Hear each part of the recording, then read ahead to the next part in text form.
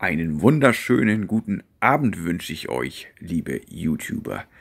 Ethan Hawke M. Blackphone. Läuft jetzt, glaube ich, immer noch im Kino. Äh, kann jetzt vorbestellt werden bei ähm, Amazon. Dieser Artikel wird am 8. September 2022, ja, da wird er rauskommen und jetzt könnt ihr ihn bestellen für 15 Euro. Dann gibt es hier auch noch Conan der Zerstörer im limitierten ja, Mediabook mit Blu-ray. Das Ganze ist vorzubestellen bei Amazon und kostet 39,99 Euro und wird am Freitag, den 18. November erscheinen. Schauen wir doch nochmal auf die aktuelle Kalenderwoche 30. Flake Day von Koch Films mit Sean Peen und Dylan Penn. Äh, FSK 12. Ich weiß nicht, warum hier ein FSK 16er Flatschen draufklebt. Ich denke wohl mal, das wird wohl äh, noch rückgängig gemacht werden. Der Film Medium klang jetzt sehr interessant. Äh, der Cinemanuel hat sich den Film ja nochmal angeguckt und äh, hat den Film jetzt auch äh, präsentiert im Mediabook und äh, hat gesagt, dass der doch noch recht gut sein soll. Ähm, Medium hatte ich heute auch in der Hand. Beim Mediamarkt hatte aber heute irgendwie keinen Bock, den Film mitzunehmen. Äh, hier in der äh, Spararmare, ja, Release am 28.07. Dann ein Film von 2020, Pixie.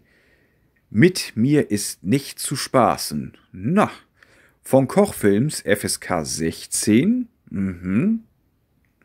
Das Spiel des Killers. 5 ist die perfekte Zahl. Ja. Auch von Kochfilms. Ist ziemlich viel von Kochfilms. Doctor Strange, The Multiverse of Madness, äh, den habe ich im Kino gesehen äh, von Walt Disney. Ich fand den ganz akzeptabel. Ich kann mit den äh, Marvel-Filmen nicht allzu viel anfangen. Äh, durchaus war der Film gut. Das 3D war eher schlecht. Dann hatte ich heute beim Mediamarkt auch noch Firestarter in der Hand für 14,99 Euro. Ich war recht skeptisch, weil äh, dieser Film im Kino ein reinster Flop war. Äh, ich glaube, da sind die Leute reihenweise nicht reingegangen oder sind auch rausgegangen aus dem Film. Ich habe da jetzt dieses Mal einfach mal meine Finger von gelassen von Firestarter.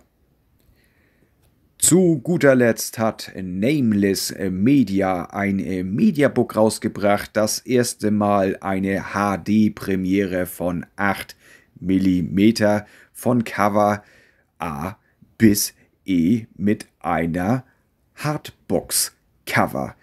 Ja, das Ganze ist ungekürzt und ist von Nameless. Vielleicht hat äh, irgendjemand schon äh, eine Auflage von Nameless äh, zu Hause von 8 mm. Und äh, welche könnt ihr mir ja gerne unten reinschreiben in die Kommentare und wie das Bildmaster der Blu-ray so ist. So, das war's mit dem Video. Ich wünsche euch jetzt noch einen entspannten Samstagabend und ciao bis zum nächsten Mal.